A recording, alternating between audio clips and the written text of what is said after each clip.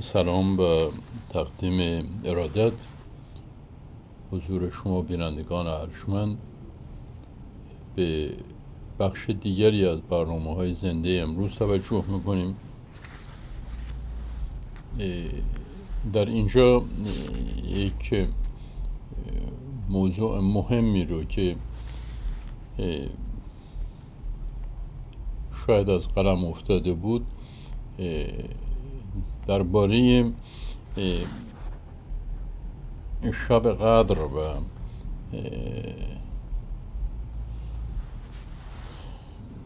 زمان نزول قرآن قرار بود در جلسه گذشته سخن گفته بشه در پاسخ سوالات مکرر شما و اینکه پاسخ داده بودیم البته ولی باز هم سوالات متعددی در این زمینه مطرح شده بود. و از اون جمله سوره شماره چهر و چهار سوره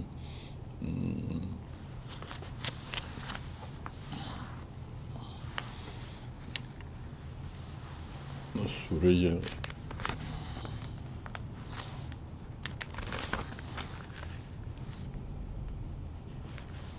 سوره دخان مطرح شده بود. در ارتباط با اثبات اینکه قرآن در ماه رمضان و در یکی از شبهای ماه رمضان که شب قدر به او گفته می شود نازل شده. یعنی از مجموع چهار محلی که در قرآن به موضوع انزال اشاره شده این نتیجه گیری شده که قرآن در شب و شب قدر و شب قدر هم در ماه رمضان هست و به این ترتیب قرآن در اینجا نازل شده. می‌خوایم بررسی بکنیم. و ببینیم که آیا چنین چیزی وجود داشته یا نه و یا اینکه ما اشتباه می‌کنیم. چون من نمی‌فهمم خوب که قرآن ارتباط قرآن رو با شب قدر نمی‌فهمم. ولی قبل از اینکه این موضوع جدید رو باز کنیم برای اینکه موضوع قبلی از اهمیت فوقالعاده مهمی برخوردار هست و در پاسخ آن تعدادی از بیننده هایی که اظهار نظر می کنند به اینکه قرآن بیشتر خوانده بشه خواستم عرض کنم که اتفاقا در برنامه امروز بیش از هر برنامه دیگری آیات قرآن مطرح شده بود. و راضی هستم از اینکه آیات مطرح می شود. هدف برنامه هم تأمین می شود. جناب حنیفی این باقی مانده مطالب ساعت گذشته است.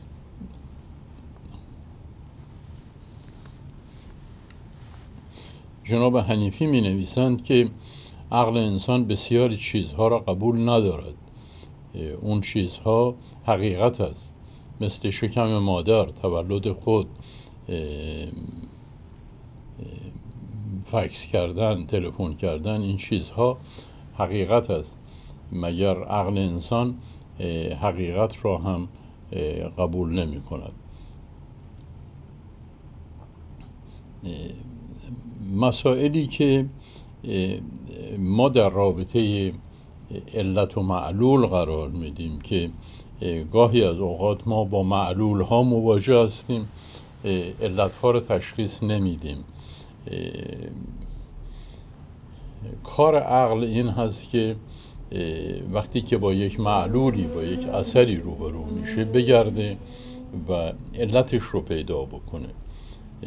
عقل در مرحله اول یک معلولی رو می‌بینه و قبولدار میشه که این معلول وجود داره این معلول اتفاق افتاده.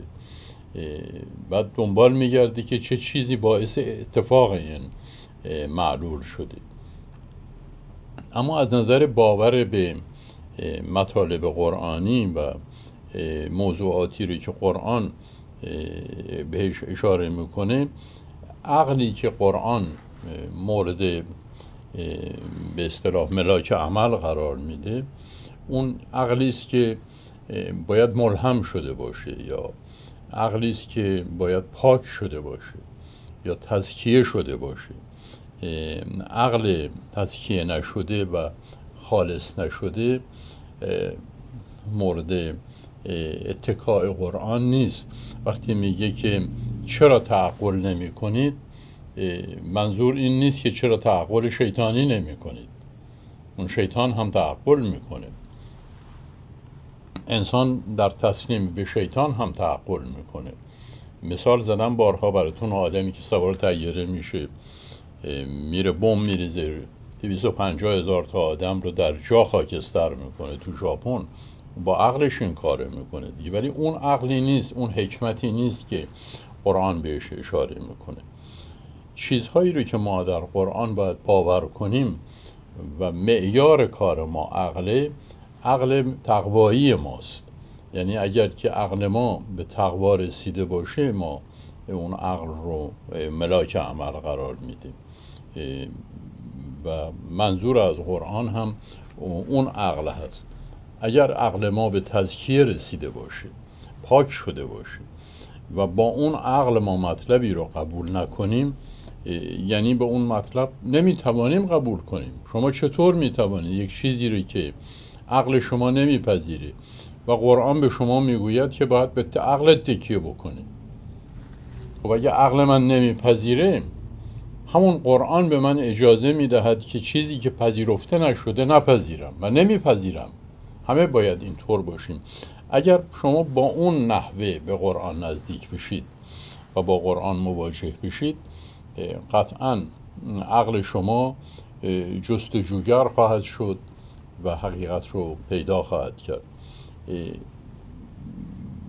دیوارهای مانع رو پیدا خواهد کرد که چرا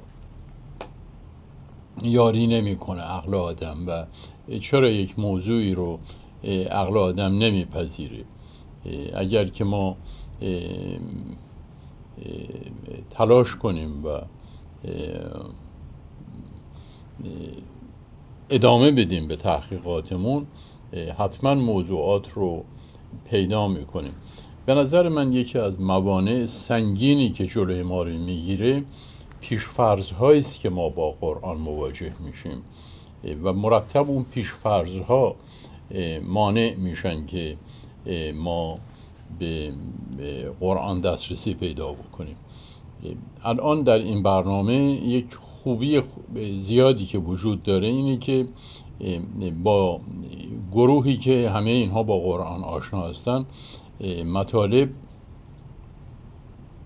باز میشه و همه موضوعات در اینجا مطرح میشه.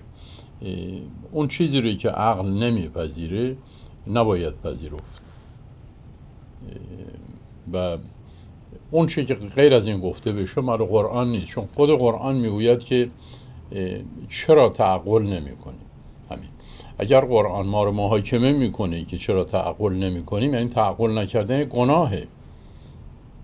یک سرپیشی از دستور خداست. این مطلب رو هم بخوانم و بعد مراجعه بکنیم به موضوع مهم دیگری که امروز مطرح هست. امروز از جدول تعیین شده خیلی عقب هستیم. و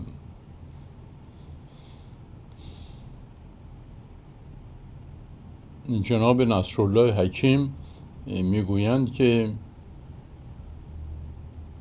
از متشابهات با یاد همیشه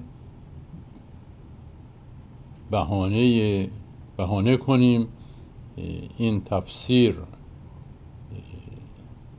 هایی که تفسیرها ای که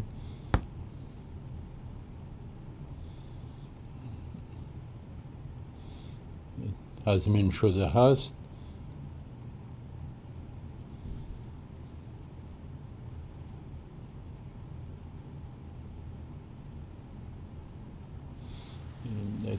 فکر می‌کنم که تشکر می‌کنن از اینکه این مطالب بیان میشه. ولی خوب متوجه نشدم متن فارسی به انگلیسی رو. دوستان اگه متوجه شدن سادش رو بنویسن که من متوجه بشم.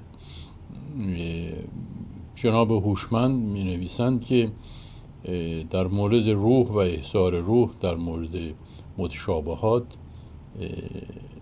فکر می‌کنم در فیسبوک دیده نشد.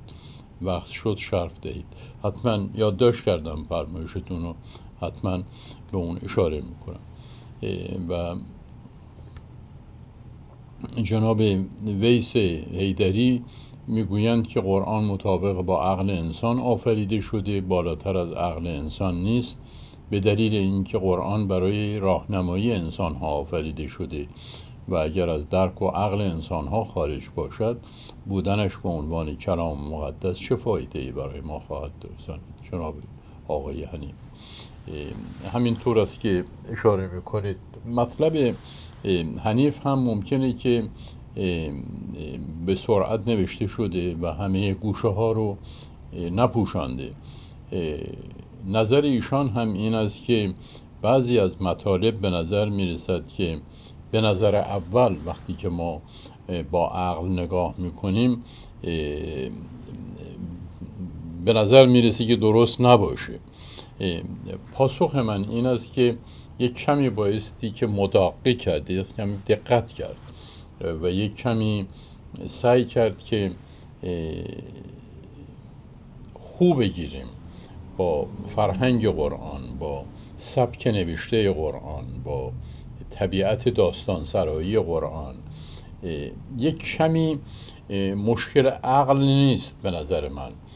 مشکل آشنایی بیشتر. مشکل اون چیزی است که این فرنگی ها فامیلیریتی بهش میگن. موضوع همخانه شدن و همصدا شدن با قرآن هست. خیلی مشکل مشکل عقلانی نیست.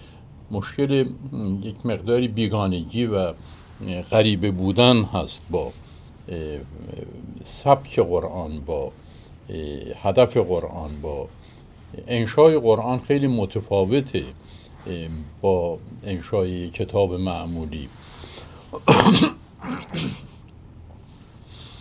قرآن قطع و وصل داستانهاش خیلی می‌تونه که اگر آدم دقت نکنه گم بکنه آدم. مثلا یک داستانی رو که آغاز تا پایانش ممکنه که مثلا دوصد قسمت داشته باشه یا دویست منزل باشه تا یک جایی شروع میشه داستان معمولی. قرآن تمام مدت می‌بره اینها رو و مرتب جایی که داستانی برای عبرت نداره قطعش می‌کنه میره به مرحله بعدی. در مرحله بعدی اشاره کوچکی به مطلب قبلی می‌کنه این دنبال اونه. ولی پاره های وسطش رو می‌بره. اگر که اون پاره های داستان های قرآن رو ما جاسازی کنیم به هم وصل بکنیم کتاب قرآن شاید متجاوز از پنج هزار صفحه میشه. به این علت هست که کمی آدم با قرآن باید خوب بگیره که وقتی که از روی این پل میپره از یک نقطه به نقطه دیگه وصل میشه همه مطالب مفروض رو که ننوشته ببینه در این مورد نحوه نگرش به قرآن جز کارهای بسیاری که می‌خوایم انجام بدیم. یکیش هم اینه که هنوز توفیق و معرفت انجام این کار رو پیدا نکردیم. دکتر آریافر می نویسند من یک سوال داشتم که جواب نگرفتم. سوال این است که اگر بیشتر داستانهای قرآن از تورات آمده چرا ما آنها را وحی می‌دانیم؟ در حالی که ما می‌دانیم که حضرت محمد با این داستان ها از قبل از رسالتشان نبوتشان آشنایی داشته است. قرآن صریحا در مورد این داستان ها می‌گوید تو آنها رو نمی‌دانستی. مثلا بیشتر داستان های تورات در سوره یوسف آمده. و به نظر می‌رسد که رسول اکرم این داستان ها رو می‌دانسته ولی قرآن رد می‌کنه و می‌گوید که تو نمی‌دانستی و تو آنجا نبودی و تو نمی‌دانستی و اینها وحی به تو می‌شود. قرآن تضمین می‌کند که او این داستان ها رو نمی‌دانسته. یکی از دلایل اثبات این موضوع این است که هر دو راجع به یوسف صحبت می کنند هم رسول اکرم راجع به یوسف صحبت می کند هم تورات راجع به یوسف صحبت می کند ولی اینها راجع به یک یوسف صحبت نمی کنند یوسفی که در تورات معرفی می شود کاملا با یوسفی که در قرآن به او اشاره می شود دو شخصیت مختلف هستند. همینطور ابراهیم همینطور هاجر همینطور سلیمان همینطور داوود این شخصیت هایی که توراتی هستند در قرآن کاملا متفاوت. اسمشون همون هست ولی شبیه اونها نیستن. یکی عدم شباهت که اصالت قرآن رو نشان میده که این تقلید نیست و یکی تضمین خداست. این دو مورد رو من روش پافشاری می‌کنم که اسم این داستان ها یکیست. ولی متن این داستان ها یکی نیست. تعارضی که در تورات فرض بفرمایید که مطالبی که ممکنه که در تورات اصلی بوده که ما اون تورات رو در اختیار نداریم. این تورات 250 سال طول کشیده نوشتنش. و بیشتر مثلا به داستان یوسف که می‌رسه از یوسف به عنوان شخصیت نژادی و پایگزار و هویت یهود استفاده میشه.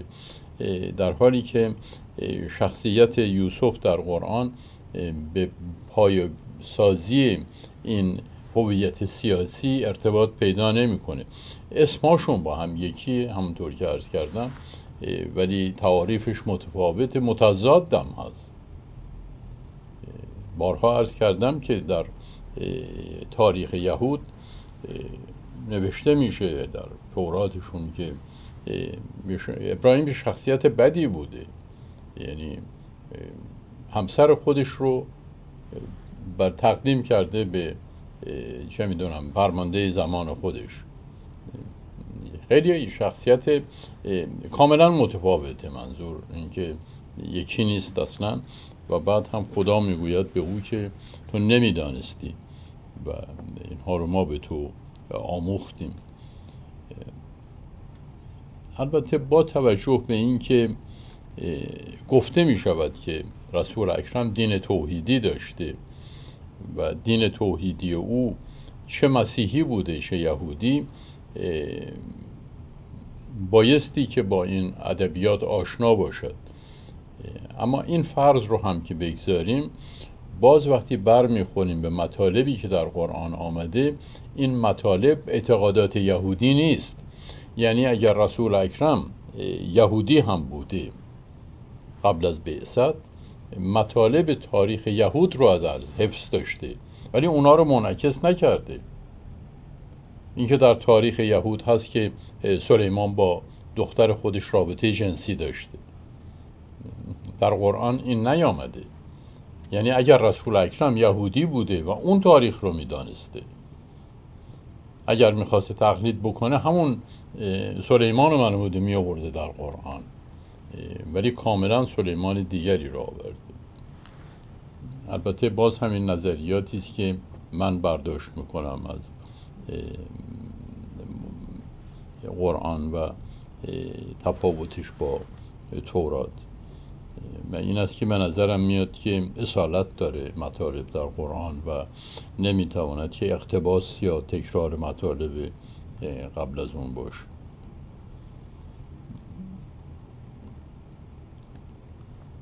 خب با اجازه دوستان می‌پردازیم به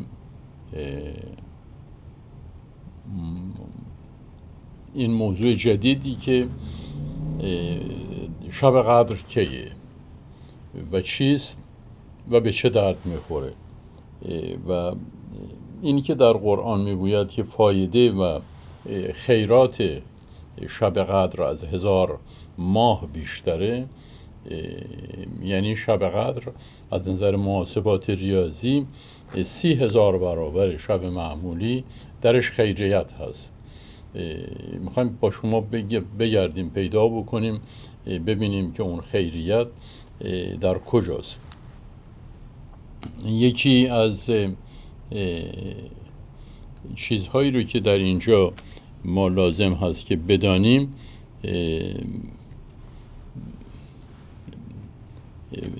مقایسه چهار آیه قرآن هست یا چهار مطلب قرآن هست که اینها رو با شما مطرح می‌کنیم و بعد ببینیم که شب قدر در کجا واقع شده؟ و بیشتر سخن من این است که اگر که امکان داشته باشه بتوانیم که این موضوعی که شب قدر شب نزول قرآنه این رو رد بکنیم. یعنی هدف اینه که به اونجا برسیم و ارتباطی بین شب قدر و نزول قرآن نباشه. این رو ما رد بکنیم. در این قسمت اتاق فرمان ما می رویم به سراغ سوره قدر. اگر که شما با همین اسپل با با کیو اگر که بزنید. آر قدر اینطور هست میاد. سوره قدر. در سوره قدر به این مزامین اشاره می‌کنه که خوب دقت بکنیم و نکات ظریف رو یادداشت بکنید. شما هم همراه من و قدم به قدم با هم جلو بریم و به کار تحقیق در این زمینه ادامه بدیم. سوره قدر رو هم بزنید که صورت سوره همین بزنید سوره 97 سوره 97 بزنید میاد. در سوره قدر اشاره می کند به اینکه بسم الله الرحمن الرحیم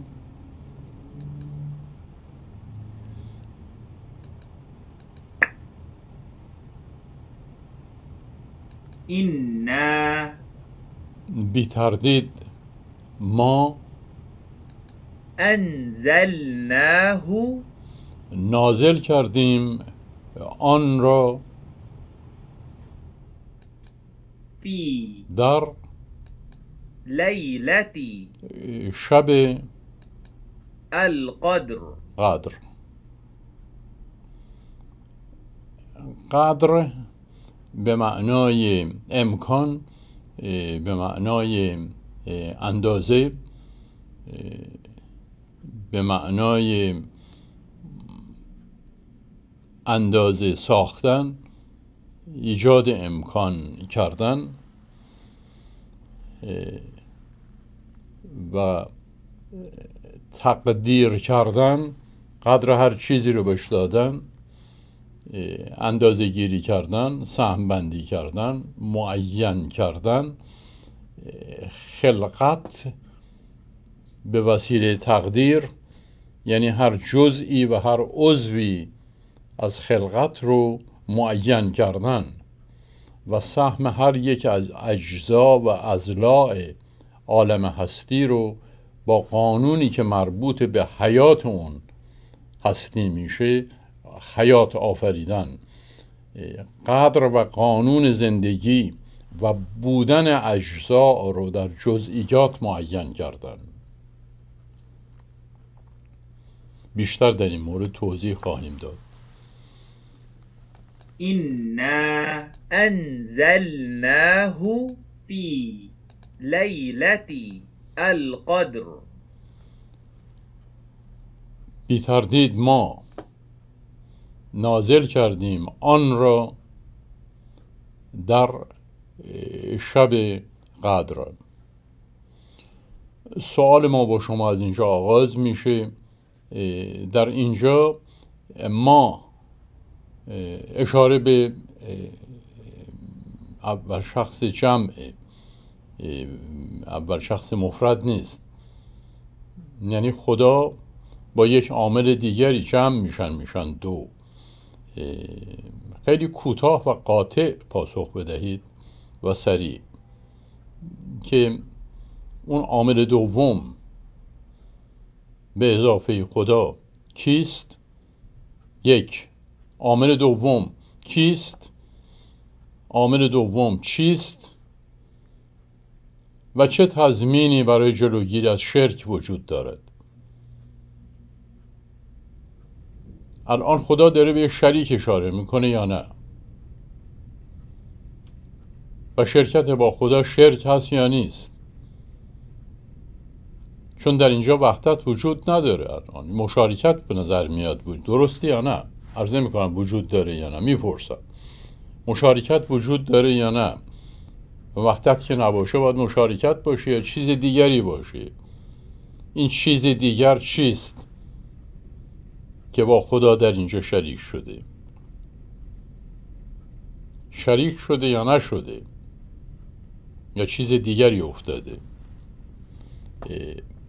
چون وقت بسیار کم است و ما هم بایستی که سوره قدر رو بررسی بکنیم و هم شش یا هفت آیه از سوره قافر رو سوره چهار رو تا بتوانیم پاسخ این سوال رو بدهیم که شب قدر یعنی چه. تقاضا می‌کنم که پاسخ هایی که می‌دید غیر مربوط به مطلب نباشه. به خاطر اینکه هم وقت گرفته میشه و هم مطلب مخشوش میشه. جناب احدزاده نوشتن که شب قدر یعنی شب فرخنده. سوالی نبود اصلا. و شبی که تجلیگاه هست شب مظهر هست مظهر عمل کل شب ستاره باران و نظیر اینها. سوال من اون نبوده. داوطلب نشید در پاسخ دادن به موضوعاتی که اونها رو سوال نکردیم. چون موضوع مطالب زیاده به هم میریزه. فقط مطلب جناب آریافر رو می‌خوانم و مطلب رو میبندیم مطلب جدید رو باز می‌کنیم.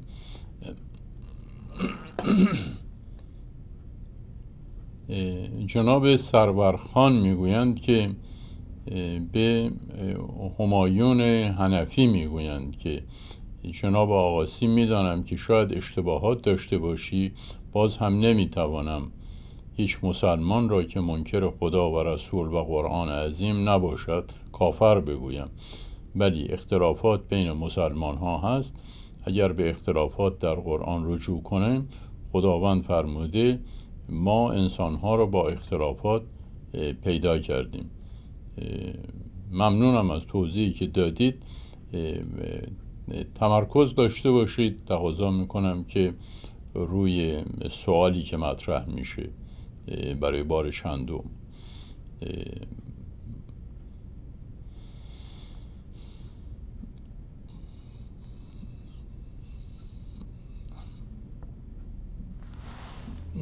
جناب آریافر در ادامه مطلب قبل میفرمایند چرا حضرت محمد به یهودیان و مسیحیان می‌گوید که این قرآن همان مطالبی را دارد که در کتابهای مقدس شماست. می‌گوید آنچه در دستهای شما آنچه در مقابل شماست. اونچه که در اختیار دارید اونها رو تصدیق می‌کنه. یعنی اون چیزهایی رو که تصدیق نمی‌کنه بالاخره یک چیزهایی از تورات رو قرآن قبول داره. همه تورات رو که رد نمی‌کنه قرآن. اصلا کار قرآن این نیست که کشتی با کسی بگیره. ولی می‌گوید که اون مطالبی که در کتابتون هست و اون مطالب متقابلا قرآن رو تصدیق می‌کنه و قرآن هم اون رو تصدیق می‌کنه. شما به اونها تکیه بکنید. اگر در کتاب شما وعده به ورود و به بعثت محمد داده اون رو تصدیق میگه. از اونجا پیدا بکنید. اگه آدرس قرآن در تورات می‌بینید توراتی که در دست شماست. همون مقداریش که در دست شماست. همون باقی مانده تورات هم وعده به ورود قرآن میده. شما به اون مطلب کتابتون تکیه بکنید. به بازمانده اونچه که در دست شماست. این بحث رو اجازه بدید که در اینجا ببندیم و مطلب رو انتظامی بهش بدیم که در جهت خودش کار بکنه. چون در جلسه اول امروز که سوال کردیم یکی از ایرادهایی که گرفتن پراکنده بودن سوال و جواب هست که پاسخهایی که نامربوط به سوال هست اگر پاسخ داده نشه بالاخره بیننده فکر کرده یه مطلبی رو نوشته و پاسخ می‌خواد. اگه پاسخ داده بشه بحث میره به جهات مختلف. پاسخ داده نشه بی احترامی به بیننده تلقی میشه.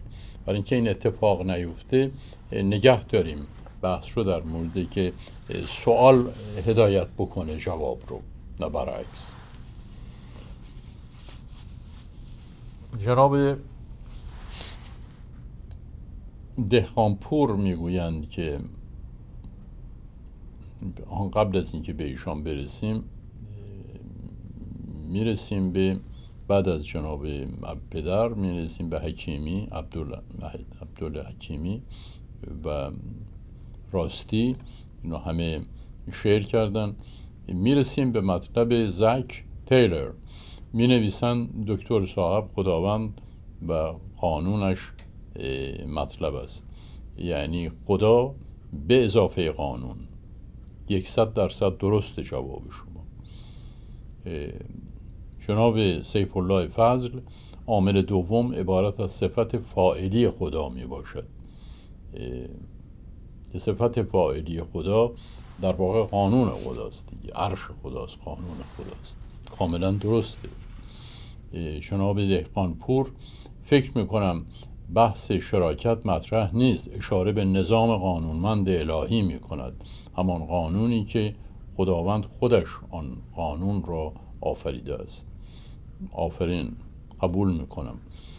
حالا یکی از شما جواب اشتباهی بدن که من احساس بزرگی بکنم آخه. طور نمیشه همه جواب درست میدین که. چارلی می نویسد خودش و امر کل.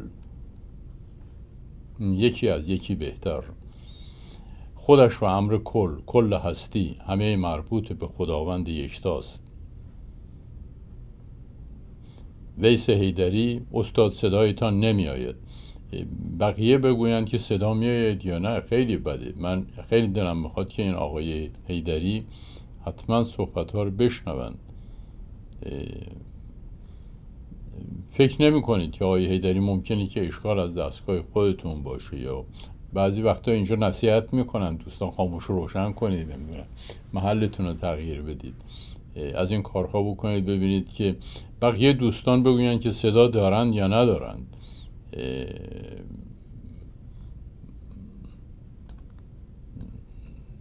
خیلی من دلم ناراحت میشه که بعضی از بینندگان ما برنامه رو نشنوند.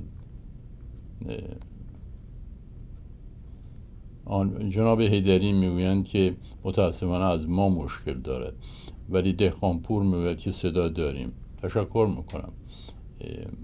خیلی میل دارم شما بشنوید صدای ما رو. خب جناب احدزاده می‌گویند میشنویم. خیلی پس اینجا تیلر جواب درست دادن سیف الله فضل جواب درست دادن دهقانپور جواب درست دادن چارلی جواب درست داده هیدری صدا رو نمیشنود. علی شهیدی با سلام منظور خدا و قانون خداست کاملا درسته و امر کل می باشد و شرک نیست چون امر کل مخلوق خداوند است. فرید حق پرور ما مشکلی با صدا نداریم. پاسخ رو هم ارائه بفرمید محسن احمدی منظور شراکت در قدرت نیست و اشاره به امر کل که قدرت و قانون خداوندی است.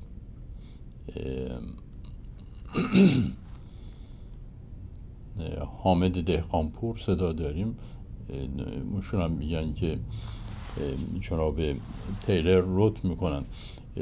خیلی خوب رخصانه ترجمه می‌کنن. جناب احمدی صدا دارن. ویس هیدری خبر خوب داره برای ما. صدا درست شد. برمیگردیم به این موضوعی که هیچ کس در اینجا اشتباه نکرد و فرصتی نیست برای ما که دیگه اظهار نظر بکنیم. ما انا. انزلناه. نازل کردیم آن را. سوال دوم به همون سبک سوال اول کاملا تخصصی و افتخار آور. همون کار رو تکرار بکنید. نازل کردیم فرو فرستادیم. اشاره به فعل ماضی مطلق می‌کنه. مطلق فعل ماضی ساده یا فعل ماضی مطلق عبارت از فعلی است که در زمان گذشته شروع میشه در زمان گذشتم تمام میشه.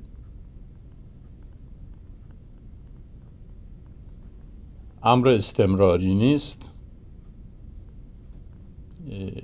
و می‌گوید که ما اون را نازل کردیم. این چیست که او نازل کرده؟ فکر بکنید که نباید که سوره های قرآن رو تضمین هم قرار بدید. ممکنه مطالب قرآنی رو تضمین قرار بدیم ولی ما تضمین این آیه رو بگردیم در یک آیه دیگه در یک جای دیگه قرآن پیدا بکنیم. موضوع به این مهمی رو که عقل و مخ از ما سوال می‌کند که اگر انا انزلنا القرآنو چطور من بلدم این رو بگم؟ با عربی دست پا شکسته خدا بلد نیست؟ انا انزلنا القرآنو ما نازل کردیم قرآن را. چطور قرآن رو خدا بلده بگه در شهر رمضان در ماه رمضان که قرآن در اون نازل شد؟ چطور اونجا بلد بود بگه؟ اینجا یادش رفته بگه خدا؟ می‌پرسم نمیگم هست یا نیست. می‌خوام ببینم که به کجا رسیدیم ما بعد از این چند مدت که با هم کار می‌کنیم. فورا جواب بدید سریع. مقتوع انزلناه. نازل کردیم تا اینجاش سوالی نیست. آن را. کدام را؟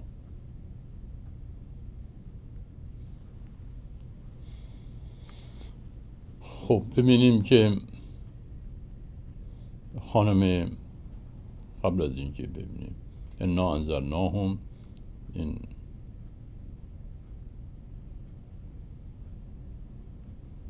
بله. جناب حنیف می‌گویند که انا انزلناه این آیه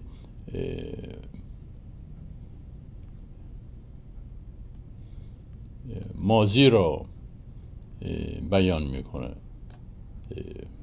بسیار خوب. سوال من راجع به فعلش نبود. سوال من دقیقا راجع به این است که چه چیزی را نازل کردیم؟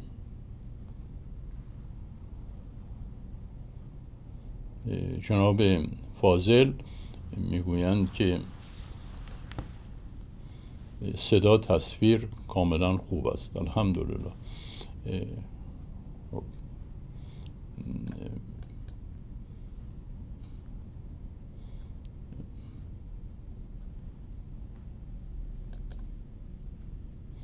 انا انزلنا این آیه مازی را بیان می کند بسیار خوب. ببینم قبل از شما کی از فاضل عزیز است و بعد جناب استاد توفیقی هستند. وقتی خدا از سیغه های جمع استفاده می کند مراد از آنها اداره هستی با اسما و صفات الهی است. بسیار بسیار سخن فرزانه مقدری که تقدیر می کند آفرین بر جنابالی آفرین بر جنابالی اشاره به امر مقدر می کند و استاد توفیقی اشاره به اسما و صفت الهی است و می‌پردازیم به فرمایش آقای حنیف که انزان ناهو این آیه مازی را بیان می‌کند. خانم آقاسی سوال من این بود که چه چیزی رو نازل می‌کند؟ آیه رو بی جهت نگه ندارید روی صحنه. چه چیزی رو نازل می‌کند؟ خانم آقاسی می‌گویند که امر کل رو نازل می‌کند. جناب امینه شریفی درود و رحمت خداوند متعال بر شما استاد عزیز سپاسگزارم. ببینید این مطالب رو اینا خب احساسات و عواطف آدمی دیگه. چه بکنیم؟ بگیم که احوال و کیف نکنید. نمیشه. می‌خوام که اشکالات امروز صبح رو ببینید. در عمل نمیشه خیلی هاشو برطرف کرد. اشکان علی نژاد یعنی اجازه مأموریت تو را به رسول اکرم می‌گوید. صادر کردیم.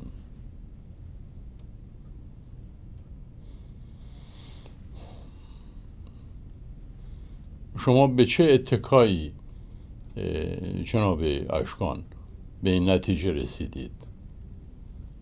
اسم محمد یا مأموریت رسول اکرم چطور؟ یعنی ایراد نمی‌گیرم به شما ها. می‌خوام مسیر فکری شما رو دنبال بکنم که ببینم شما چطور رفتید که به اینجا رسیدید. یک توضیح کوتاهی بدید فقط. تشکر می‌کنم. جناب عبدالفتاح شعر کردن. بقیه هم حتما شعر می‌کنن که ما احتیاج داریم. جناب چارلی می نویسن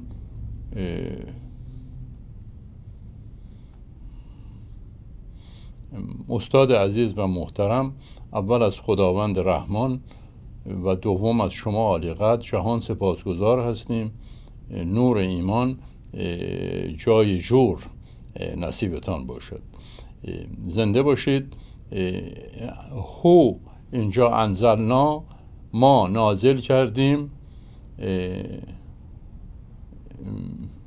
آن را آن را کجاست؟ جناب احدزاده با مجموعه حواس. جناب محسن احمدی امر کل را نازل کردیم. هم خانم آقاسی و هم آقای محسن احمدی و هم اشکان. همه شما بنویسید که به چه مناسبت به این نتیجه رسیدید. راهتون رو می‌خوام پیدا بکنم ببینم که از چه راهی رفتید که به ذهن شما این چیز آمده. جناب استاد راسخ عزیز در واژه واژه انزلناهو فعل نزول مورد فعل نزول مورد نزول مجهول است که چه چیزی نازل شده. یعنی هنوز معلوم نیست. برای همین من پرسیدم از دوستان دیگه که الان علی شهیدی اضافه شد به اینکه منظور نزول کل امر است. بشیر احمدی می‌گویند که قرآن را. برکی می‌گوید؟ امر کل را. تیلر می‌گوید که قانون هستی را. ویس هیدری می‌گوید رحمت را.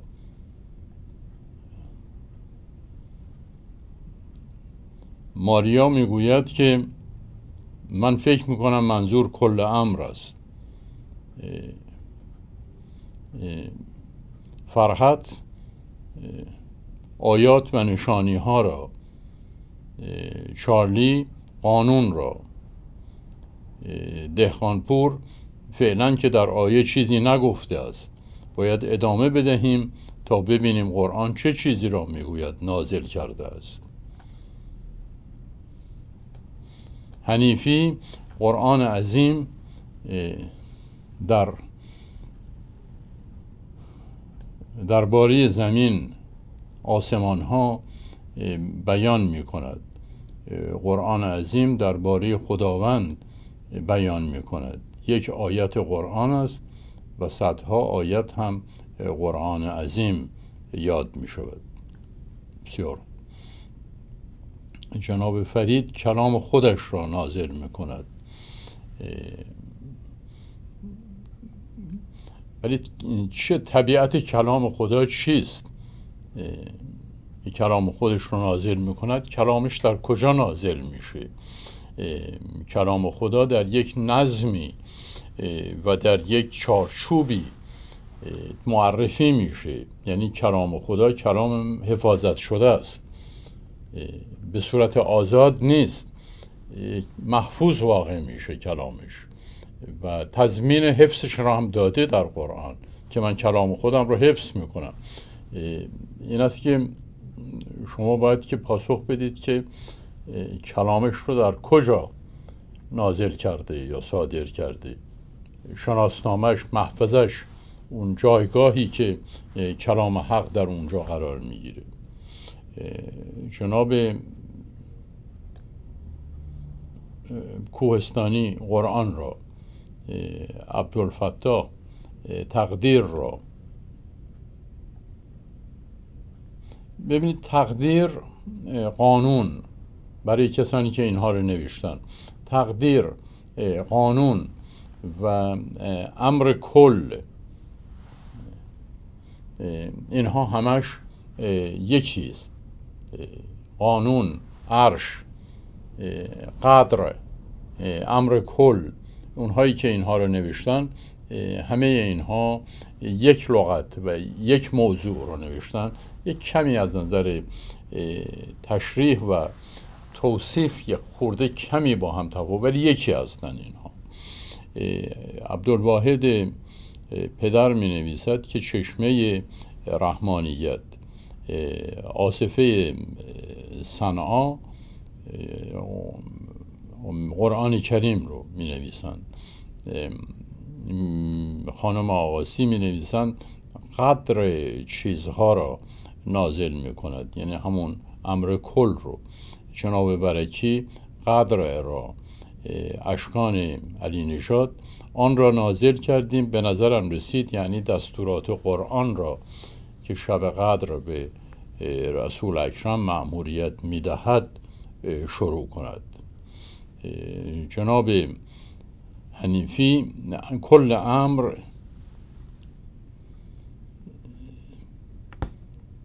به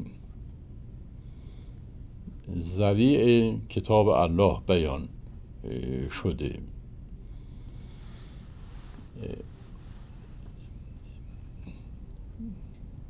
پس تا اینجا پاسخهایی که سربران ارشمند ما دادن. یک عده سه قسمت می‌کنم من سوالات شما رو. قسمت اول این که ما نمی‌دانیم. باید بقیه آیه رو بخوانیم تا بدانیم. این صحیح ترین جواب هاست. پاسخ دوم که غلط نیست. اما پیشروی رفت کردن. از جواب از سوال جلو افتاده. پایینش رو نگاه کردن و گفتن امر کل. حالا تقدیر باشه یا قدر باشه یا امر کل باشه یا قانون باشه یا عرش باشه هر پنجتا اینها یک معنی میده. و گروه سوم گروهی هستند که اشاره به قرآن کردند که در اینجا قرآن نازل شده.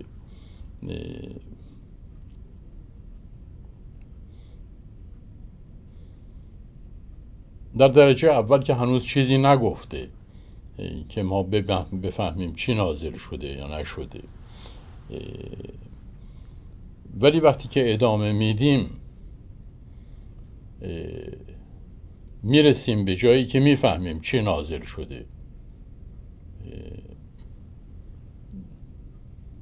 در اونجا که متوجه میشیم چی نازل شده آیا هنوز هم وقتی به اونجا رسیدیم باز هم فکر می‌کنیم که منظور قرآن است کسانی که گفتن قرآن هست نه بقیه. وقتی به اونجا رسیدیم اگه نظرشون عوض شد این نظر رو اظهار کنم جناب فرحت می نویسن نقشه های الهی در طبیعت. نقشه های الهی در طبیعت یا بازترش بکنیم. قانون خدا در هستی. یعنی صحبت شما رو ترجمه کنم من که پهنه بیشتری بهش بدیم. قانون خدا در هستی. همون میشه امر کل. یعنی فرمایش شما فرمایش فرحت ترجمه امر کل. می‌برم شما رو به اون حساب. همایون رسولی با سلام مجدد. اگر در این آیه به کلمه نزول توجه کنیم از جانب خداوند فقط وحی نازل می شده یعنی قرآن را پیامبر از جانب خداوند نزول نمی شده که می شده گفت که آغاز نزول وحی و قرآن و همچنین آغاز رسالت پیامبر با آمدن و یا با نزول قرآن است. یعنی پاسخ شما رو هم در ردیف سوم قرار میدم که منظور انزال قرآنه نظر شما. سه نظریه هست. نمی‌دانم امر کل قرآن. خب نزدیکت بگیر نظریات. حالا یک کمی لغتاش رو بالا و پایین ببرین. ولی مطلب همینه که جناب اشکان احکام خدا. احکام خدا یعنی امر کل. پس سه قسمت شد. دیگه در این قسمت ننویسید. سه تا مطلب در اینجا بیان شد. نمی‌دانم. قرآن امر کل. خیلی خیلی من ممنون و راضی هستم از شما که مثل ساعت کار می‌کنه ذهن شما. و چقدر من خوشبختم که در جای قرار گرفتم که با شما عزیزان اینطور صحبت می‌کنم. انا انزلناه ما نازل کردیم. آن را فی لیلتی. در شب شب در اینجا چه معنی میده به نظر شما؟ ما از قبل شما باید آماده بکنید که جوابا رو بدید. چون می‌دونید کلمه به کلمه می‌پرسم. که زودتر ما بفهمیم که خب ما از این صحبت آخری آقای علی نژاد بودم عبور می‌کنیم میایم پایین. احکام خدا یعنی همه امر کل رو می قبول می‌کنم امر کل. مال جناب همایون رسولی رو قبول می‌کنم که منظور نزول قرآنه جناب فرحت نقشه های الهی همون امر کل. خیلی حالا ببینیم که سروران ارجمند چه پاسخی در این قسمت دادن و خب نگاه می‌کنیم. دو تا سوال رو بذاری پشت سر هم بکنم که وقت چون بین سوال و جواب پرسد کمه. انا انزلناه فی لیلت القدر. ما نازل کردیم آن را در شب. بعد میگی که چگونه شبی؟ ما نازل کردیم آن را در شب. می‌خوام ببینم نگرش شما به موضوع. شب چیه؟ شب رو چگونه می‌بینید؟ و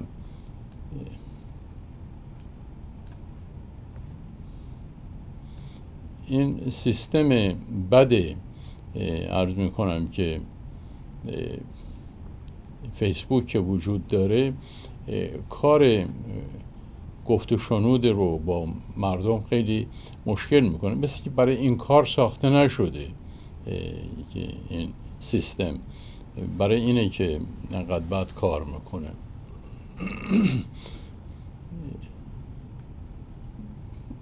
خب آصفه قرآن کریم رو نوشتن. آقاسی قدر چیزها رو نازل می‌کند. جناب برکی قدر رو علی نشاد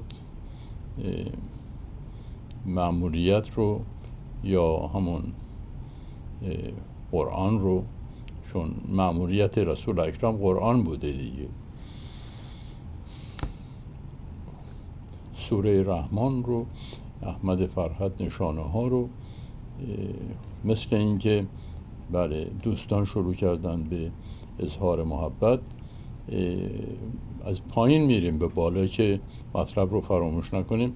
خانم آقاسی می نویسند در تاریکی ذهن بشر احدزاده منظور آرامش است برکی تاریکی سیاهی و عدم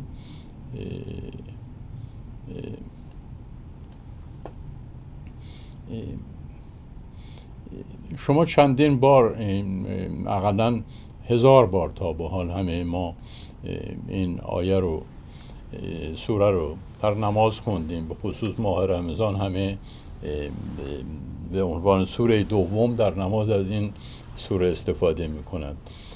و این رو در واقع در جان خودتون دارید این سوره رو. حالا این سوال مطرح میشه که چرا مثلا در اینجا؟ خدا وقتی که میگه من دنیا رو در شش مرحله یا شش روز استفاده می‌کنه یوم استفاده می‌کنه. حالا معنی روز به معنای در مقابل شب رو نمیده. ولی منظور یک دوره اشاره میشه در اینجا. اتاق فرمان نگه ندارید روی چیز. حالا سوال این است که چرا در اینجا کلمه شب به کار رفته؟ می‌خواهید که صبر بکنید تا بقیه آیه خوانده بشه به سوره خوانده بشه که ببینیم که شب اهمیتش در چیه و چی در مقابل شب قرار داره؟ اما اگه بخوایم مستقل رو همین آیه تکیه بکنیم که شب چه حالتی است؟ که این نزول در اونجا واقع میشه. به نظر شما دوستان. نظریه مردمی که از زوایای مختلف به این موضوع نگاه می‌کنند یک خدمت تاریخی است که تا به حال در دنیا نشده. تا به حال نه هیچ مسجدی نه هیچ حوزه‌ای نه هیچ کلاس تدریس قرآنی. به این ترتیب تا این جایی که من تا این لحظه ای که نشستم اینجا اطلاع دارم چنین چیزی نشده. که به مردم آزادی عمل داده بشه که هم با ذهنیت های هم مواجه بشن و قرآن رو در این حد در این ظرافت و در این عمق و در این دقت. آدم هایی که سطوح مختلف دارن. الان کسانی هستند که تحصیلات ابتدایی راجع به قرآن دارن. اوایل کارشونه. کسانی هستند که قرآن رو در محفظه قلبشون حفظ دارن و با قرآن شب و روز زندگی کردن. همه اینها اینجا هستن. و همه اینها اظهار نظر می‌کنن. و باید که همه اینها هم نظر بدن. و ما نظریات درست و غلط نیست. همه غیر ممکنه کسی قرآن رو غلط بفهمه اگر که نیت پاک داشته باشه. ولی نحوه رسیدن ما به هدف و معنی از کوچه های مختلف و این خیلی جالبه که شما کوچه های ذهنیت همدیگه رو ببینید و ظاهر بشه. نگاه بکنیم ببینیم که اینجا خانم آقاسی می‌گویند که عبدالواحد می‌گوید در منظور آرامش است. جناب برکی تاریکی اشکان علی نشاد احکام خدا مال قبلی بود ببخشید. خانم آقاسی می‌گویند که در تاریکی ذهن بشر در سکوت آرامش بدون دغدغه و قایب از نظر نامحرمان.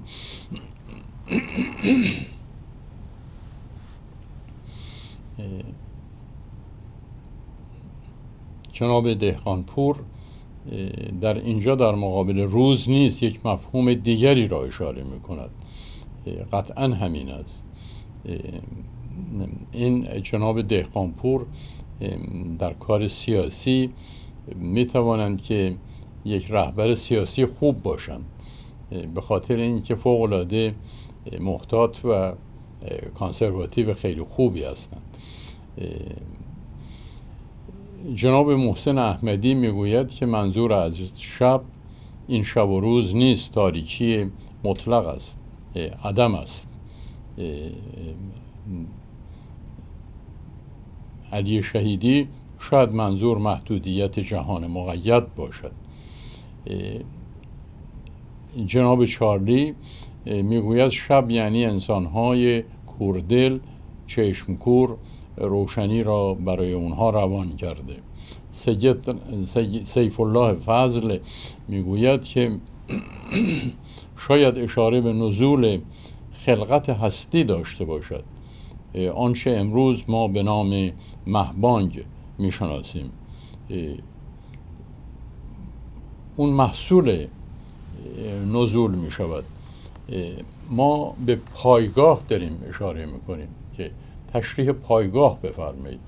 نه ممکنه که در اونجایی که منظور شما شاید این باشه جناب فضل که وقتی که انظرناه آن را ممکنه اون محبانگ باشه ولی اینجا در پایگاه داره صحبت می‌کنه. یه پایگاهی که به این پادگان وارد میشه. یعنی به بیسی که نزول به اینجا پایین میاد. هم ببینیم که در اون حالت اگرم زمان نباشه شب زمان نباشه مثلا زمانی نبوده اصلا که زمان باشه یا نباشه. هیچی نبوده در اونجا نازل میشه اون مکان رو نشون میده اون اگه بگیم که این یک هلیکوپتری است که داره پایین میاد ما به اون پایگاه داره اشاره می‌کنه اون پایگاه سوال اینه که چیه جناب سلطانی می‌گویند منظور از شب زمانی نیست که بعد از شب روز شود. جناب حنفی می نویسند قرآن عظیم پیش از جناب محمد موجود بود. این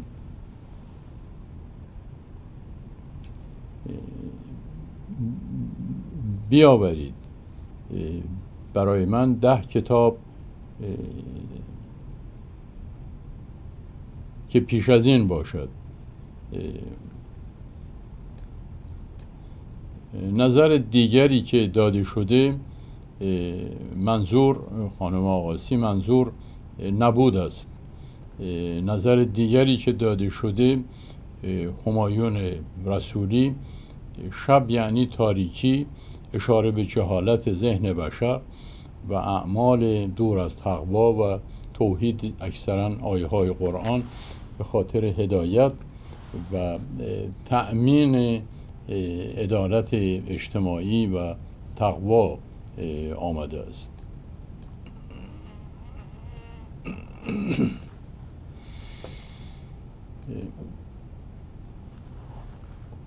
اجازه بدهید که با لغت بعدی و توجه و دقت به لغت بعدی لغت قبلی رو بهتر شناسایی بکنیم.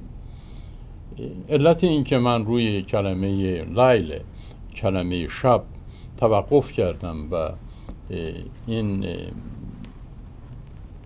در واقع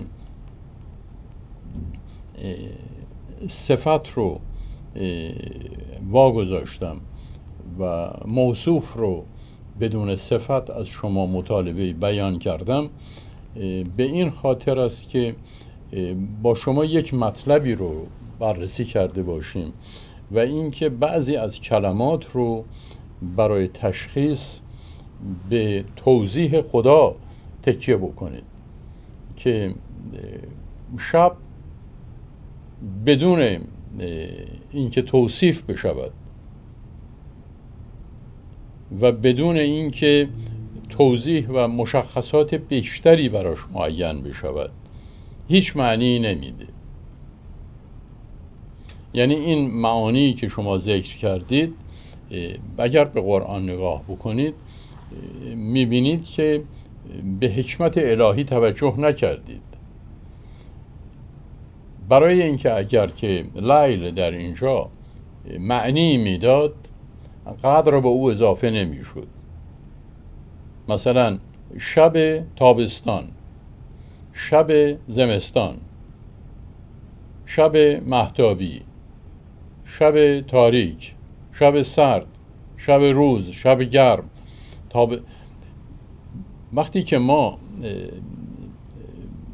یک صفتی رو در کنار یک موصوفی قرار میدیم با توجه به اینکه قرآن در حد اقل مطالب رو می نویسه چون اگه می‌خواست توضیح بدی که می‌شد به اندازه دریا و بیشتر از اون. ما نمی‌دانیم که لیل چه معنایی می‌دهد. تا زمانی که نگاه می‌کنیم که از این اسم با صفتی که در دنبال این میاره مقید می‌کنه او رو.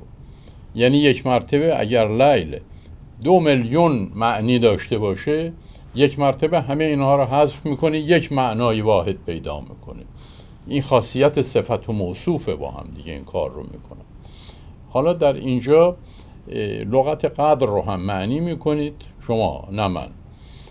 و بعد این دوتا رو به هم وصل می‌کنیم که ببینیم از اینها چی دریافت می‌کنیم. لیل خب یعنی تاریکی شب که یعنی شب. شب تاریک. بیشتر از این ما الان چیزی نمی‌دانیم. تا میایم به این می‌رسیم که لیلت القدر. بگید قدر یعنی چه؟ اون وقت این دوتا رو به هم میچسبونیم و معنی بهتر و کاملتر و قاطع از اینها برمیاد. تمرین می‌کنیم. قدر یعنی چه؟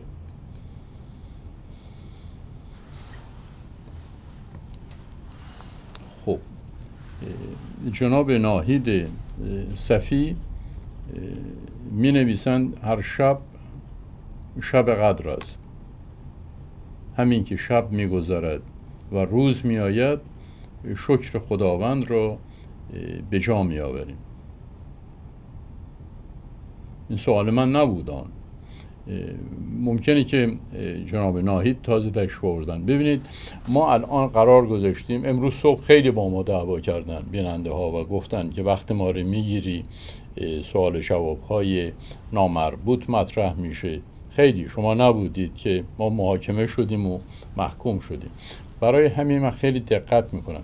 ببینید این آیه که می‌خوانیم سوره که می‌خوانیم آیه هایی که می‌خوانیم تک تک سوال می‌کنیم راجع به واژه ها و خیلی اهمیت داره که ما دقت بکنیم که از حدود سوال خارج نشیم. یعنی وقتی که یک چیزی می‌پرسیم همون جواب داده بشه کجا بودن خانم وکیل؟ بالا بودن؟ بله دیگه. خانم ها خیلی هوای همدیگه رو دارن و از اتاق فرمان به خصوص برای خانم وکیل آمدن این طرف و می‌گویند که مطلب خانم وکیل خوانده نشد. بله ما تقصیر از من بوده. تقصیر از این دستگاه ناقص فیسبوک که گویا برای این کارهای تحقیقاتی درست نشده و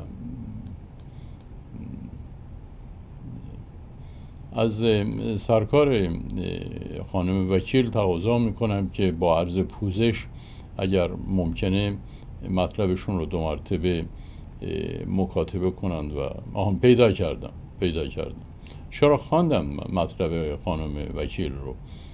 من فکر می‌کنم منظور امر کل است. خواندم مطلبشون رو. تا فرمان اشتباه می‌کنم بسیار خوب.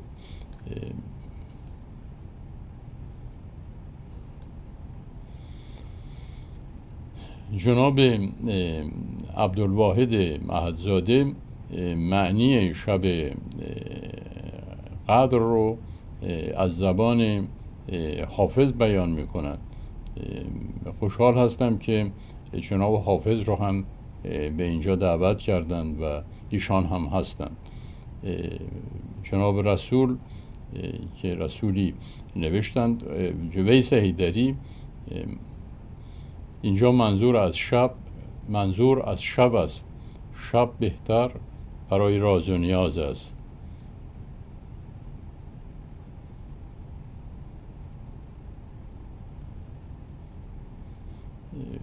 برای راز و نیاز است که الله متعال آن را مقدس شمرده بهترین شب هاست. شب قدر. جناب علی نژاد نور و رحمت و برکت و سعادت در شب نازل کردیم. معمولا در گذشته سرنوشت و مقدرات انسان را مقدر و تعیین می کردند به نظرم نوری است که به سرنوشت تاریخ آدمی میتابد. به نوعی نجات دهنده. بله. هر جا که بود دری به شب در بندند. یک کسی دیگری هم می‌کنم سعدی باشه آقای رستمی بهتر می‌دونن که اونها هم در این مشارکت هست در اینجا هستن ها. اونها هم دارن حرف می‌زنن. زندن الان. مثلا حافظ زنده است الان. اجازه بدید قبلا استاد رستمی رو بخوانم تا بالا میره غیب میشه اینها. شب اشاره به همان لحظه ای دارد که هستی عدمی لباس هستی واقعی می پوشد که در همان لحظه امر کل و قانون هستی نیز نازل می گردد جناب عبدالواحد دوش وقت سحر از غصه نجاتم دادند. و ظلمت شب آب حیاتم دادند. و در آن ظلمت شب آب حیات آب حیاتم دادند. بی خود مست بی خود از شعشعه پرتو ذاتم گردند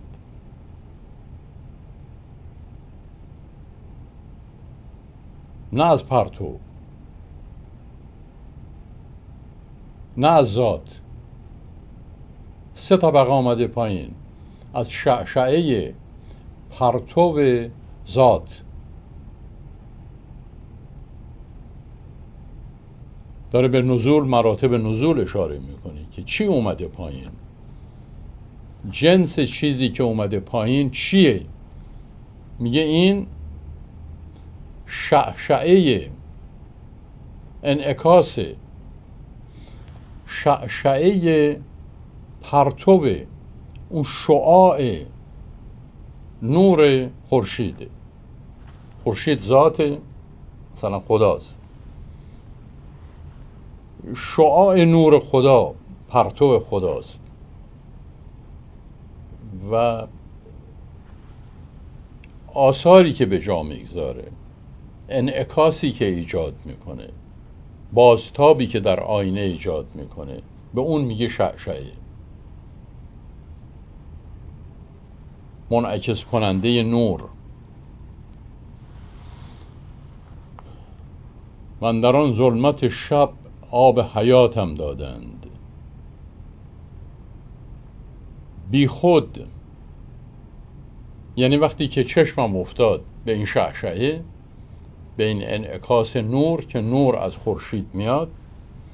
من توی آینه وقتی شعشعه رو دیدم از خود بی خود شدم. و با من حواس و هوشی نبود که چیزی رو به خاطر بیارم. و زمان در من متوقف شد.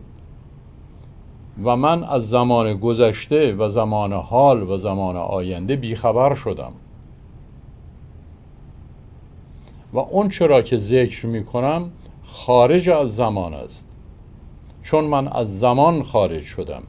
بی خود از شعشعه پرتو ذاتم کردند. یعنی منو از زمان و مکان بیرون بردند. باده از جام تجلی صفاتم دادند. اون چیزی که در من ریختند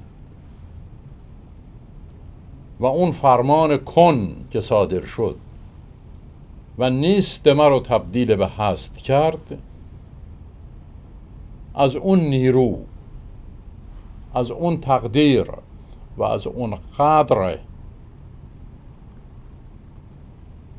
به نام باده نام می‌بریم باده از جام تجلی صفات. نه ذات است نه صفات. تجلی صفات است. خوب توجه کنید. نه ذات است نه صفت. تجلی صفت رو ذکر می‌کند.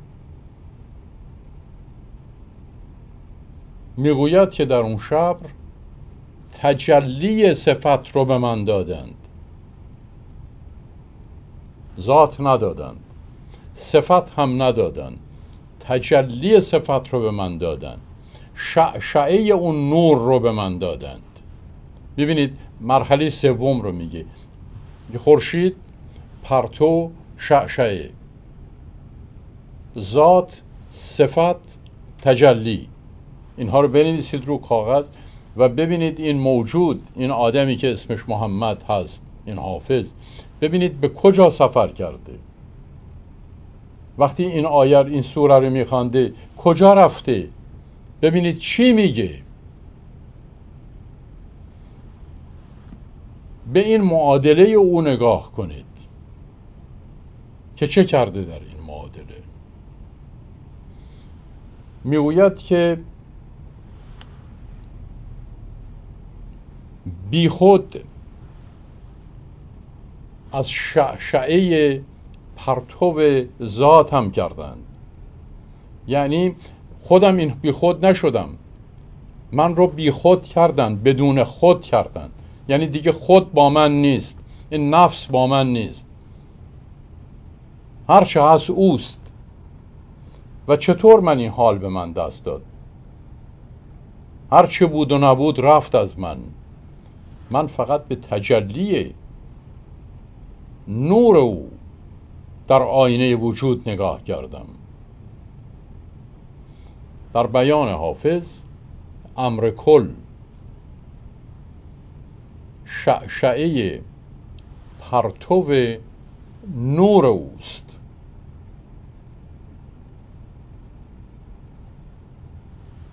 بی خود از شعشعه پرتو ذاتم کردند از ذات یک نوری برمیخیزه. و اون نور یک اثری در آینه می‌گذاره که تجلی اوست. من وقتی که با اون تجلی مواجه شدم از هوش رفتم از خود بی خود شدم. در اون حالتی که بی خود بودم.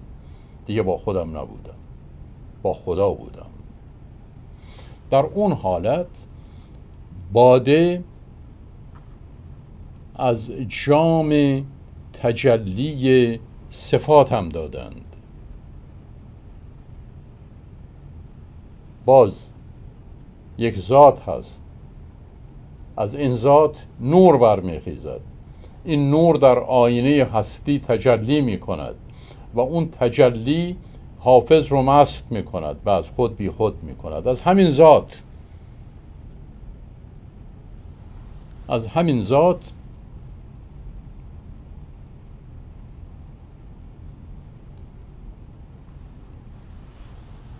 تجلی صفات برمیخیزه از این ذات صفات برمیخیزه از این صفت تجلی برمیخیزه یکی شعشعه برمیخیزه یکی تجلی برمیخیزه.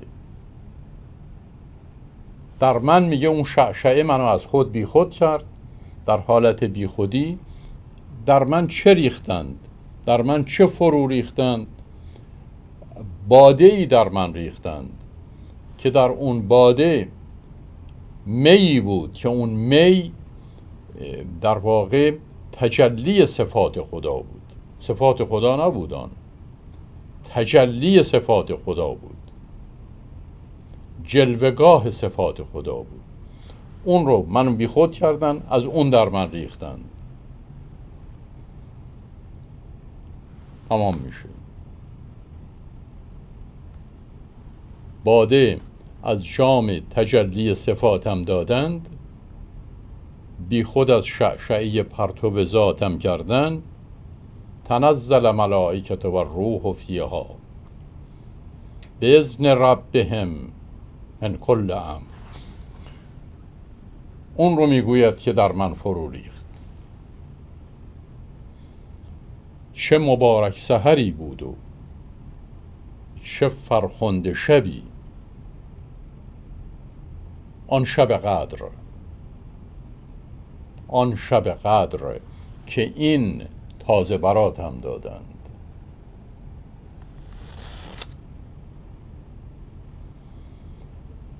برات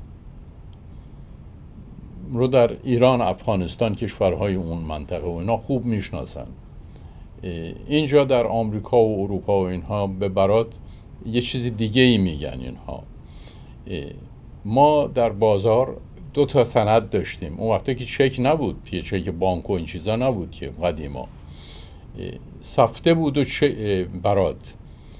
سفته یعنی پرامیسری نوت یعنی که قبض بدهی. مثلا من از شما 100 دلار قرض می‌کنم می نویسم که من دو ماه دیگه 100 دلار این آقا رو بهش میدم. یا یک کاغذی امضا می‌کنم که بدهی خودم رو به شما نشان میدم. که شما اینو می‌برید و یعنی در واقع بدهکار سفته میده به طلبکار. یعنی یک قولی است برای پرداخت. برات برعکس اونه. برات رو طلبکار به بدهکار میده. یعنی در زمان قدیم مثلا که اعتماد بین مردم بود یک تاجری میاد از یک تاجری دیگه تلفن می‌کنه که حاج آقا بله. میگه دو تا فرش می‌خوام مثلا دو تا قالی می‌خوام. ببندید بفرستید انبار. این قالی رو میفرسته به انبار میگه من برات می‌کشم سرتون. یعنی یه کاغذی می نویسم و در واقع اون کسی که قالی رو میفروشه یه براتی هم می‌کشه سر خریدار که تو انقدر به من بدهکاری. و اون برات رو امضا می‌کنه برای این پس میفرسته. برات سندی است که طلبکار میفرسته که بدهکار اون رو امضا بکنه. چه مبارک سحری بود و چه فرخنده شبی. فرخنده به معنای پیروز به معنای کامکار به معنای کامل و با شادی و مسرت یک امری به پایان رسیدن. یعنی هر اتفاقی بنا بود که اون شب بیفته هر وسالی که بنا بود انجام بشه انجام شده. از متن بیان استنباط حافظ این قرآن نیست. این هم حافظ هم یه آدمی بوده مثل شماها که اظهار نظر می‌کنید. این هم یه کلاس قرآنی در زمان خودش. یک تلویزیون پیوندی بوده. 700 سال پیش در شیراز. ازش پرسیدن تو اون تلویزیون یه حرفا رو زده. یعنی درست همین امروز اون روز هم تکرار شده. می‌گوید که اون شب این اتفاقات افتاد. چشمم افتاد به عکس خدا. در آینه هستی. و اینقدر زیبا بود این عکس که از هوش رفتم از فرط خوشحالی. محو این زیبایی شدم مثلا از حال رفتم. وقتی که از حال رفتم از تجلی اون ذات اون ذات یه صفت داره دیگه. از این صفتش یک تجلی برمیخیزه. یک عکسی برمیخیزه. مثل عکسی که تو آینه می‌بینید. اون تجلی یک آدم دیگه. هیچ چیزی تو آینه نیست. ولی هست. اون رو میگه. میگه از اون در من ریختن. و من تجلیگاه خدا شدم. شب قدر هر آدمی شبی است که این اتفاق براش میفته. یعنی چی؟ یعنی این متوجه میشه جلوه یا تشعشع نور حق رو در خودش می‌بینه. یعنی می‌بینه که نور حق تابش می‌کنه به او. و در اثر برخورد با این نور شعشعه این نور نه خود نور از خود بی خود میشه. وقتی که به هوش میاد چون این میگه در آدم بی, بی خود شدم وقتی بی خود میشه که نمی‌فهمه چه شده که. ولی وقتی به خودش میاد می‌بینه تجلیگاه خدا شده. می‌بینه که از صفات خدا متجلی شده. یعنی صورتش صورت خدا شده. و این آیه قرآنه که ما بشر رو به شکل خودمون خلق کردیم. بشر هان نه حیوان. یعنی اوج کمال بشر صورت خداست. باز در قرآن می‌گوید که در مورد همسر میگه دیگه که شما از قبل موجب رضایت همسرتون بشید. و بدانید که در خلوتی که با هم دارید شما در این حرکت در این عبادت من گریم می‌گیره وقتی که به قرآن نگاه می‌کنم و به آدم ها نگاه می‌کنم که ما چه حیوانات وحشی هستیم و خدا چقدر عنایت داره. شما ببینید که خدا مقام زن رو در این آیه قرآن چگونه معین کرده که خلوت تو با او. عبادتی محسوب میشه که اگر شرایط عبادت رو انجام داده باشی و رضایت خدا رو جلب کرده باشی و رضایت همسرت رو جلب کرده باشی در این ماجرا در این رفتاری که با هم دارید و به پیش میرید منتظر باشید که صورت خدا رو ببینید. یعنی تو داری به سفری میری که لقای خدا رو می‌بینی. همون تجلی که حافظ اشاره می‌کند. اون وقت ما این تجلیگاه خدا رو میگیم در سوره فلان گفته که ضرب که اینو تا می‌تونی بزن. انقدر بزن که دندانهاش بشکنه. این کسی رو که قرآن می‌گوید تو به لقای خدا داری می‌رسی. لقای خدا کجا؟ صورت زنت جلوت اون کسانی که فاقد شرافت انسانی هستند. اون کسانی که فاقد عدالت هستند. اون کسانی که اخلاق رو به کل فراموش کردند و اون چنان دچار غضب و یک طرف قضاوت کردن شدن که واقعا همونی که قرآن میگه سمون بکمون امیان فهم لا چون واقعا به اونجا رسیدن. که با این کتاب به جنگ میان و میگن این کتاب مقام زن رو زیر پا گذاشته. این کتاب کتاب قرآن. به هر حال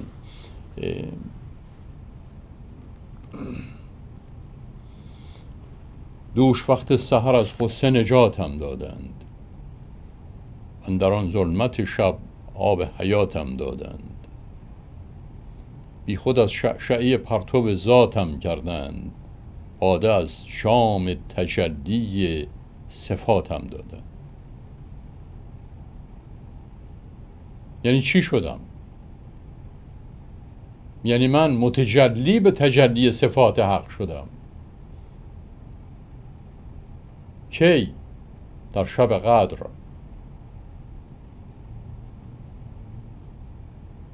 چه مبارک سحری بود مبارک یعنی از نظر گستردگی و وفور و فراوانی و نعمت نعمت بی حده یعنی هر چی شما نگاه می‌کنید مرزی نمی‌بینید که عنایت خدا نعمت خدا در اونجا تمام شده باشه. برای همین می‌گوید که بی حساب به تو میده بی حساب نه برای خداست برای ما بی حسابه به غیر حساب. هر چی نگاه می‌کنی حسابی نداری تشون ببینی کجاست.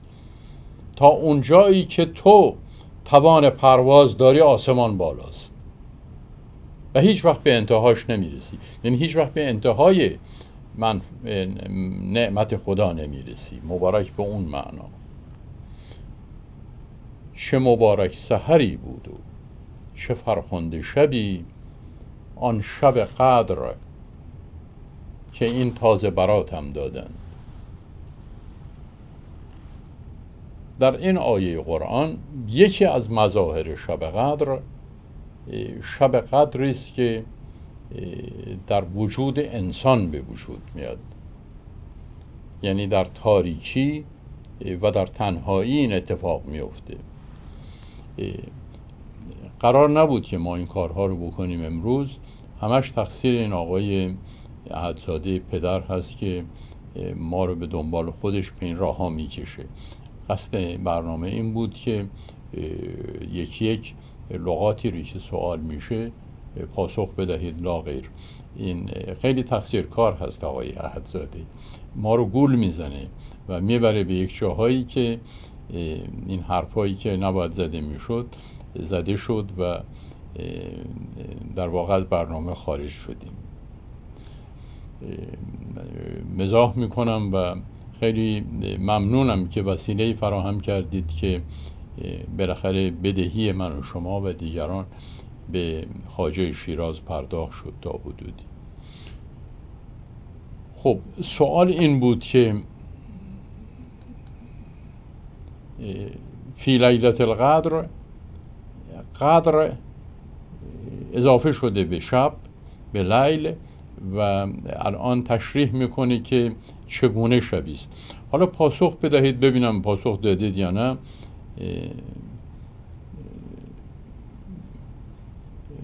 جناب بله اشکان و استاد رستمی شب شب اشاره به همان لحظه ای دارد که هستی عدمی لباس هستی واقعی را می پوشد که در همان لحظه امر کل و قانون هستی نیز نازل می گردد همین پاسخ رو جناب عبدالواحد از زبان حافظ دادند. جناب ناهید می نویسند که هر شب شب قدر است همین که شب می گذرد و روز دیگر می آید شکر خداوند را به جا می آوریم بسیر احمدی قدر یعنی روشنی.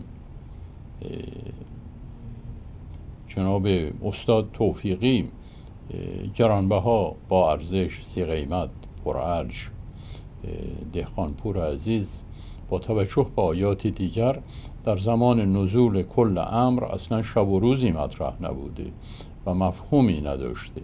لیل اشاره به زمانی می کند که تاریکی مطلق و عدم به صورت اصطلاحی بوده و در آن اندازه و قانون طبیعت و حدود هستی مشخص می شود پاسخی است به حق و پاسخی است مشابه پاسخ استاد رستمی عزیز. و از دو ذهنیت مختلف برمیخیزه ولی به یک هدف مشترک می‌رسه. جناب بهزاد می نویسند که جناب استاد ما آن را در شب قدر نازل کردیم نظر به آیات دیگر که واضح ساخته که قرآن را در ماه رمضان نازل کردیم خود اشاره شب قدر در ماه رمضان نشده. بناهن شب قدر واضح از نگاه قرآن مفهوم دیگری است نه نزول قرآن. بسیار احترام برانگیز. شب بزرگ و عظمت. شب قدر یعنی اندازه میزان. آفرین بر شما. آفرین بر شما. شب تعیین میزان. احدزاده تقدیر و قدر و برکات برای همه موجودات هستی. جناب هادی امیرزاده شعر کردن. خدا توفیقتون بده. جناب محسن احمدی عظمت این قدر و با عظمت این قدر و با ارزش بودن آن. ویس هیدری منظور از شب قدر همان نزول قرآن از لوح محفوظ به آسمان دنیاست که بعد مرور زمان مطابق حوادث برای محمد صلی الله وحی می شود.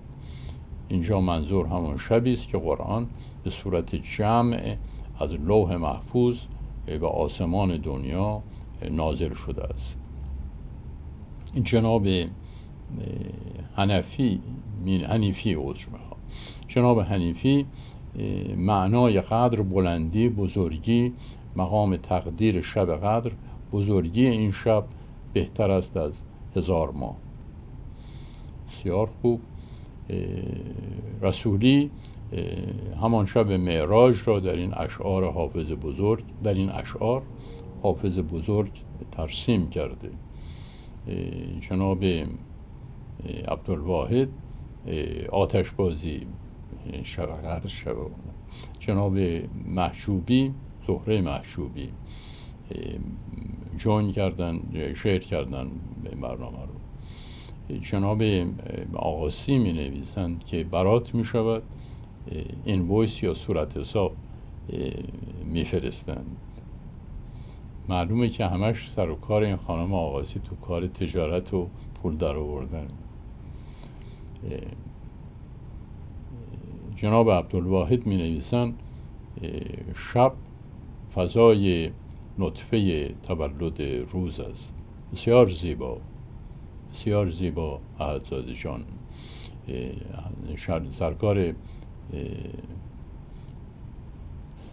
فرهناز برنامه رو شعر فرمودن همیشه ایشان لطف دارن جناب چارلی می نویسد وقت پر از نور صفا انعکاس بین بنده و خالق بنده. جناب آقاسی می نویسند کن فیکن. همه فرمایشاتتون درست بود. تفاوت نظری اینجا با یک بیننده محترم هست که تشخیص ایشان این است که اونچه که نازل شده در این شب قرآن شریف است. و ما نشانی بر این امر در اینجا نمی بینیم وقت ما داره به پایان می‌رسه و برای رد این موضوع از سوره چهل و چهار باید کمک بگیریم که این کار رو خواهیم کرد. انا انزلناه فی لیلت القدر. ما نازل کردیم آن را در شب قدر. قدر به معنای امکان خوب توجه بکنید. قدر به معنای واژه قدر رو دارم معنی می‌کنم از خودم چیزی نمیگم. قدر به معنای امکان و نیرو. امکان و نیرو یکیه هر دو. اندازه و مقدار. چهار تا لغت من در اینجا به کار بردم. یکی اندازه و مقدار یکی امکان و نیرو. مجموعه این چهارتا که با هم جمع میشه مفهوم قدره. قدر هم درش قدرت هست. هم درش امکان هست. هم درش نیرو هست. هم امکان هم قدرت هم نیرو درش هست. از یک سو. و از سوی دیگر درش اندازه هست و مقدار. یعنی هم راجع به کمیت هم راجع به کیفیت هم راجع به توان صحبت میشه. یعنی یک پدیده ای که این پدیده اندازه هاش معلومه. اندازه نه به معنای اینکه شما چیزی رو با متر اندازه بگیرید. اندازه شما وقتی می‌خواید که پلو بپزید چلو بپزید. اندازه یعنی یک مقداری برنج یک مقداری روغن یک مقداری نمی‌دونم نمک. اینها اگر که به اندازه نباشه با هم آمیخته نمیشه. مثلا شما اگر که یک اتم اکسیژن داشته باشید دو تا اتم هیدروژن داشته باشید مجبور بکنید اینا با هم ترکیب بشن تشکیل آب میده. اما شما اگر که یک اتم هیدروژن داشته باشید و یک اتم اکسیژن داشته باشید فشار بیارید اینها رو با هم ترکیب بکنید یه چیز دیگری میشه. شما اگر که مثلا ترکیبات کلور داشته باشید بریچ میگن اینجا بهش دیگه. می‌زنن لباس سفید میشه. اون رو اگر که شما با الکل قاطی بکنید در این ترکیبی که اینها با هم دیگه می‌کنن یک پدیده ظاهر میشه به نام کلوروفرم که زمانهای قدیم وقتی ما بچه بودیم مریضا رو با اون بیهوش می‌کردن. همینطور هم میشه. اگه این دوتا رو با هم قاطی بکنین بخاری که می‌زنه آدم رو بیهوش می‌کنه زیاد باشه می‌کشه. چرا این اتفاقات میفته برای اینکه اندازه اینها با هم دیگه فرق می‌کنه. همین کلور که بزرگترین سمه. با هیدروژن قاطی میشه اسید کلوریدریک میشه که بدترین نوع اسیده. همه اینها رو چی کار می‌کنه؟ اندازه هاشو که عوض می‌کنید. همسایه هاشو که عوض می‌کنید. امکان. خوب می‌خوام این جوابم بدید امروز بس تمام میشه به این. ولی اگر که این در ذهن شما باشه برنامه که تمام میشه دفعه دیگه که ما با هم صحبت می‌کنیم خیلی خیلی در جای بالاتری با هم حرف می‌زنیم. سوال من اینه که یک اتم کلور رو در نظر بگیرید. سبز رنگ سنگین هم هست گازه کشندم هست نفس بکش آدم میمیره. یک چیز دیگری هم هست به نام سودیوم یه چیزی مثل نبات زرد چسبنده است. اگر که یک تیکه کوچکی از این سودیوم رو بذارید تو دهنتون از این ور روده رو پاره می‌کنه میاد بیرون. متس این خاصیتشه این دوتا رو وقتی با هم ترکیب می‌کنید میشه نمک تعام میریزید رو غذا می‌خورید. خیلی هم خوشمزه است. نه سودیوم توشه نه کلور توشه. نه سبز رنگه نه زرد رنگه. نه چسبنده است نه گازه. پودره. نمک میشه نمک تعام میشه. این سوال رو با خودتون ببرید منزل.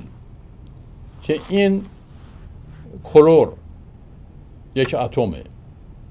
البته داخل خودش مولکول داره چه می‌دونم معذرت می‌خوام الکترون داره.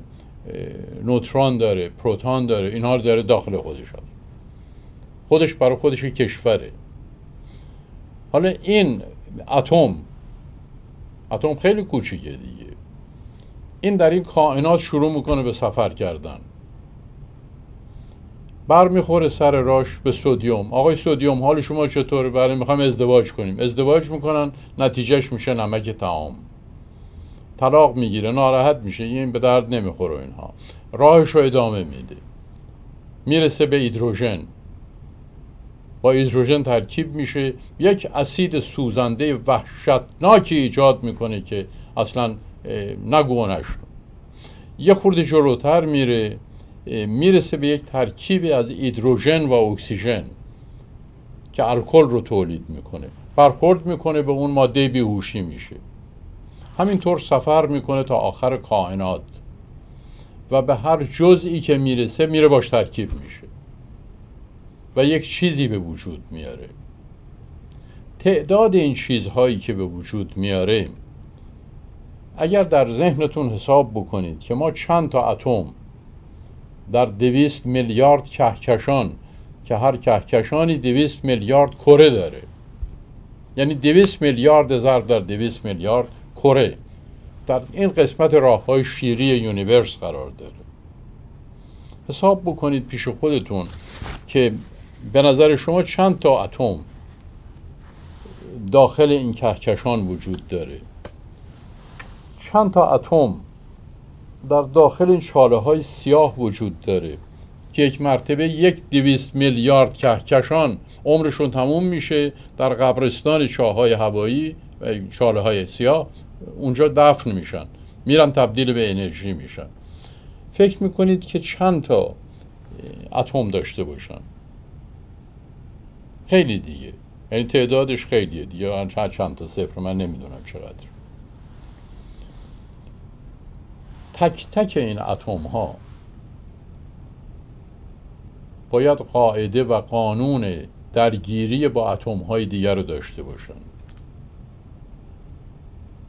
به این موضوع فکر بکنید که این اتم چقدر باید اینفورمیشن داشته باشه اطلاعات داشته باشه